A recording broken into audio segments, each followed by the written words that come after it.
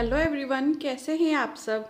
आज मैं देखिए आपके साथ इस ब्यूटीफुल कार्डिगन डिज़ाइन की वीडियो शेयर करने वाली हूँ।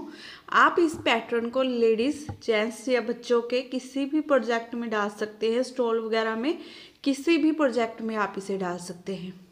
बहुत सुंदर, बहुत प्यारा डिज़ाइन है और बनाने में भी बहुत ज़्यादा आसान है ये। देखने में जितना देखिए ये अलग सा पैटर्न है बनाने में ये, उतना ही इजी है। इसके लिए हमने क्या करना है? पाँच पाँच के मल्टीपल से फंदे डालने हैं। तीन फंदे हमने एक्स्ट्रा ले लेने हैं। फाइव फाइव के मल्टीपल से फंदे डालेंगे। थ्री फंदे हम एक्स्ट्रा ले लेंगे पैटर्न को इक्वल बनाने के लिए। तो चलिए जल्दी से शुरू करते हैं इसे बनाना। आपने पहले नीचे बॉर्डर बना लेना है। बॉर्डर बनाने के बाद इसकी फ़र्स्ट रो सीधी तरफ़ से देखिए स्टार्ट होगी। तो फ़र्स्ट रो सीधी तरफ़ से जैसे मैंने यहाँ से बनाई है, वैसे ही आपको यहाँ से बनाकर बताऊँगी। तो इसकी फ़र्स्ट रो सीधी तरफ़ से पूरी हमारी सीधी बन के आएगी। ऐसे। ये पूरी रो हमने सिंपल सीधी सीधी बना लेनी है।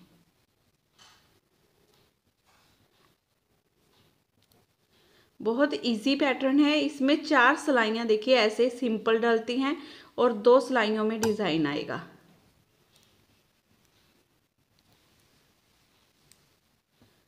तो पहली रो सीधी तरफ़ से सीधी बना लेंगे। सेकंड रो उल्टी तरफ़ से पूरी हमारी उल्टी बन के आएगी। ऐसे। ये रो ऐसे ही उल्टी उल्टी बना लेंगे।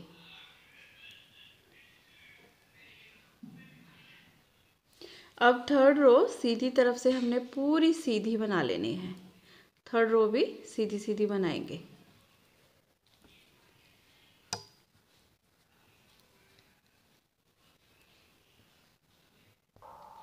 फोर्थ रो उल्टी तरफ़ से पूरी उल्टी बना लेंगे।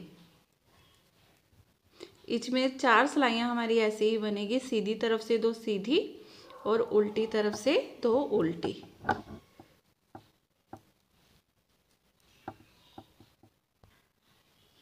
अब देखिए फिफ्थ रो सीधी तरफ़ से। पहले फंदे को आप उतारिए, चाहे सीधा बना लीजिए, ये हमारा एस स्टिच का फंदा है। उसके बाद हमने क्या करना है, देखिए। ये एक, दो, तीन, चार, पाँच। पाँच में और छठे फंदे के बीच में देखिए। पाँच और देखिए, ये पाँच फंदे इधर हो गए। ये छठा फंदा है इसके बीच में यहाँ पर। ये एक, दो, तीन, चार। चौथे होल में हमने, फोर्थ होल में देखिए, चौथे होल में हमने ऐसे सिलाई को डालना है और यहाँ से लूप बना लेना है। ऐसे, इसे ना तो बहुत ज़्यादा टाइट करना है, ना ही ढीला। फिर उसके बाद इसके नेक्स्ट यहाँ थर्ड होल में डालेंगे, यहाँ से एक लूप बना लेंगे, ऐसे। फिर एक फंदा सीधा। फिर से इसे नेक्स्ट में डालेंगे, एक लूप बना लेंगे ऐसे, और ये एक फंदा सीधा बना देंगे।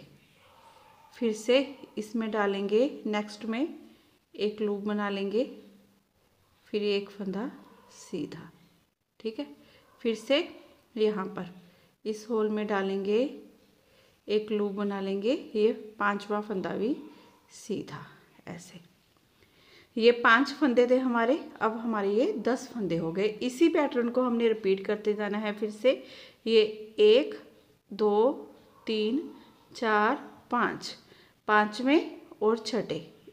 इन दोनों के बीच में देखिए, इन दोनों के फंदों के बीच में जो ये वाली स्पेस है ना, ये वाली, अब यहाँ पर हमने फोर्थ होल में ऐसे सिलाई को डालना है। निकाला। और इस फंदे को सीधा बना लेंगे। ठीक है? फिर नेक्स्ट में डालेंगे, बनाएँगे, इस फंदे को सीधा बना लेंगे।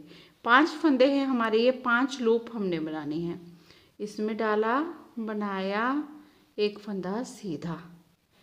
इसमें नेक्स्ट में डाला लूप निकाला, ये फंदा हमारा सीधा। फिर इससे नेक्स्ट में यहाँ पर डालेंगे और ये वाले फंदे को सीधा बना लेंगे। ऐसे।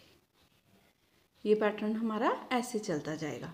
अब फिर से ये एक, दो, तीन, चार, पाँच, ठीक है? पाँच फंदे हो गए हमारे। ये पाँच फंदे इधर, ये छठा फंदा है। यहाँ पर बीच में जो देखिए, ये ये वाली स्पेस है ना, ये वाली, इसमें।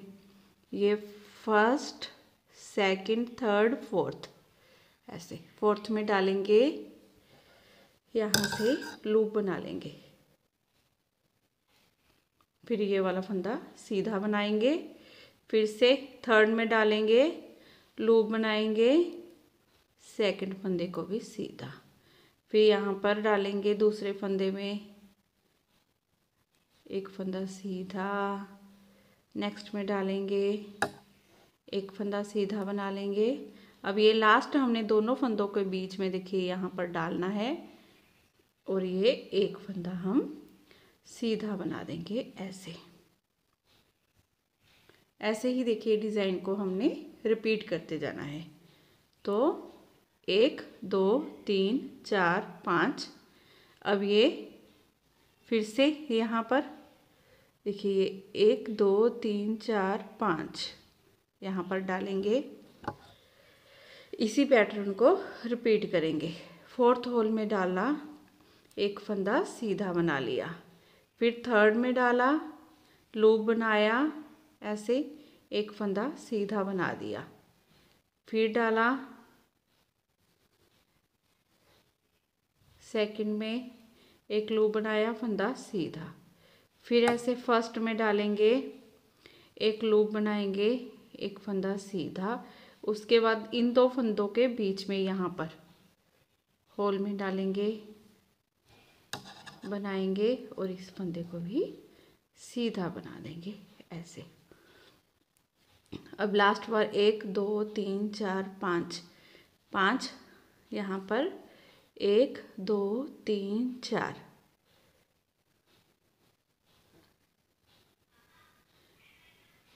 एक, दो, तीन, चार। ऐसे होल में डाला। इसी पैटर्न को रिपीट कर लिया। ऐसे।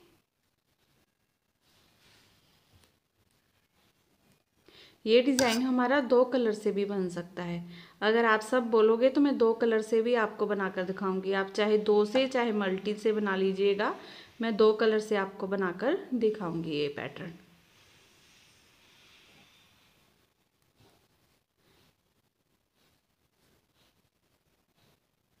ऐसे ही हमने पाँच फंदे हैं हमारे, देखिए, पाँच बार ऐसे ही लूप निकालनी है।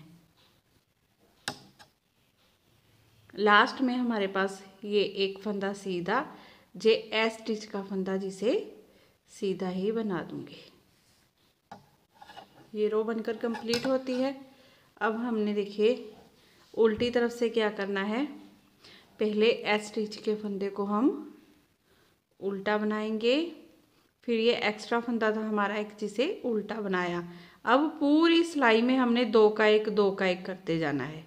ऐसे दो फंदों को एक साथ सिलाई में लेंगे, दोनों का एक कर देंगे। फिर से एक ये फंदा, एक ये दो का एक।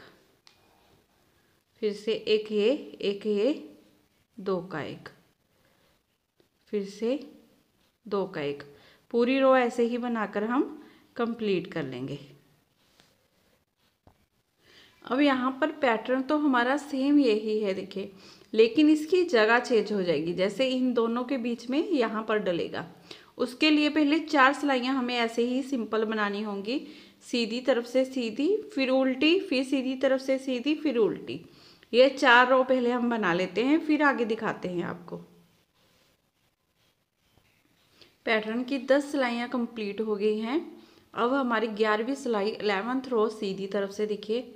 पहले तो हमने एक फंदा अपना ये एस स्टिच का बनाया था, उसके बाद सीधा ये लूप वाला पैटर्न डाल दिया था, लेकिन अब हमने क्या करना है, यहाँ पर तीन फंदे सीधे बना लेने हैं, एक, दो और ये तीन। ये टोटल हमारे चार फंदे सीधे हो गए, ठीक है?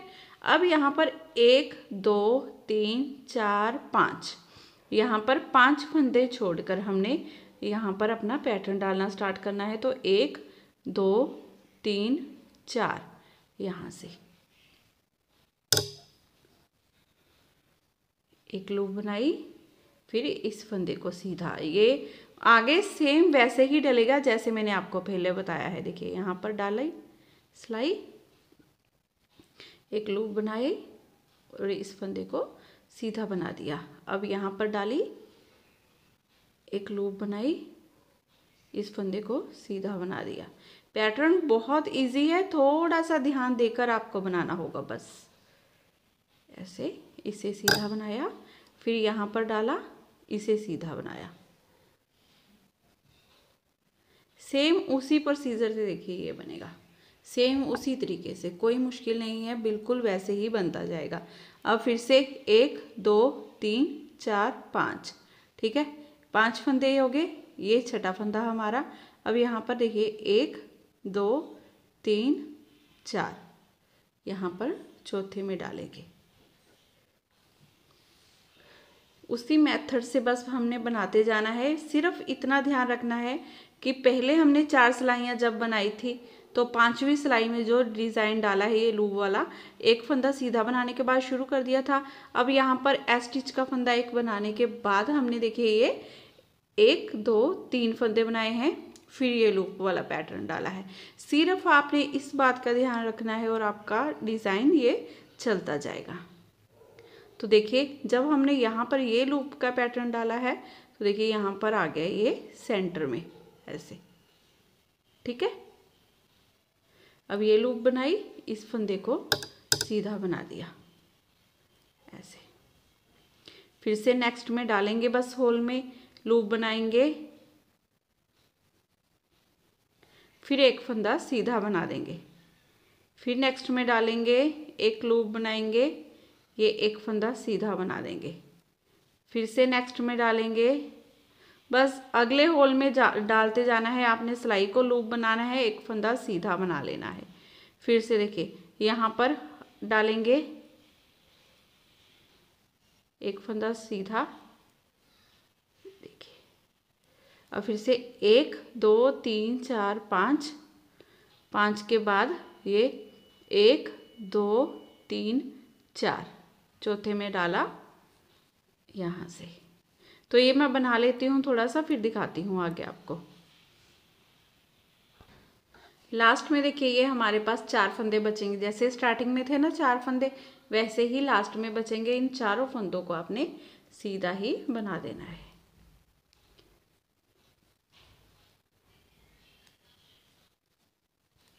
तीन, चार। अब उल्टी तरफ़ से देखिए। पहले चार फंदे ये उल्टे बना देंगे। एक, दो, तीन, चार। चार फंदे उल्टे बनाए। उसके बाद देखिए ये एक ये फंदा, ये एक लूप वाला फंदा। अब ये सारे फंदों को हमने दो का एक, दो का एक ऐसे करते जाना है बस। सिंपली दो फंदों को लेंगे सिलाई में, दो का एक। दो फंदों को लेंगे सिलाई में, दो का एक। दो फंदों को लिया सिलाई में, दो का एक।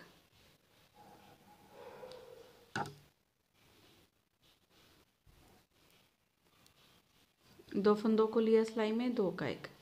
ऐसे ही हमने बनाते जाना है।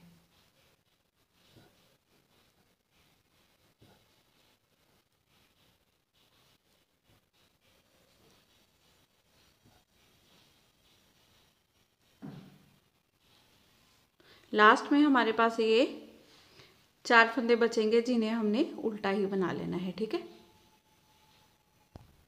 देखिए ट्वेल्व रो का हमारा ये पैटर्न है और यहीं पर बनकर कंप्लीट होता है। इन्हीं ट्वेल्व रो को आपने रिपीट करते जाना है। अब यहाँ पर देखिए, ये स्ट्रेच भी होता है। कोई ऐसी बात नहीं है कि खींचा खींचा बनेगा या कुछ भी। ऐसे स्ट्रेच होता है, बहुत अच्छा पैटर्न बनता है।